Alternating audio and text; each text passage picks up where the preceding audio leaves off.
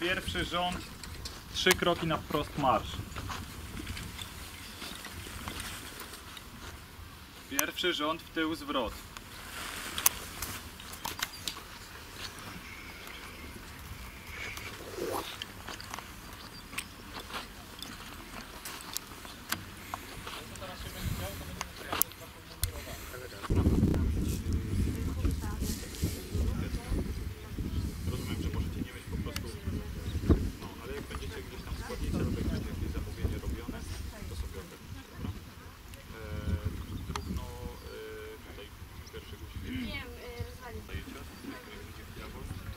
I ogólnie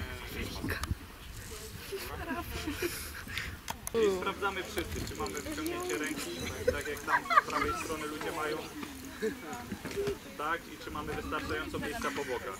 I robimy to żwawo, bo powinniście to zrobić w jakieś 10 sekund max. Wspólnie. No pokryj, no kochani! Halo?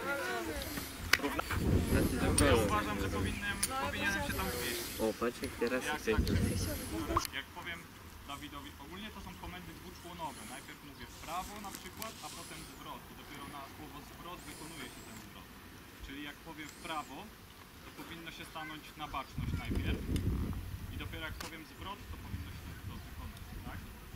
I teraz wszyscy podnosimy do góry prawą. Jak trochę sąsiada zawsze, w którą stronę on zamierza się powrócić.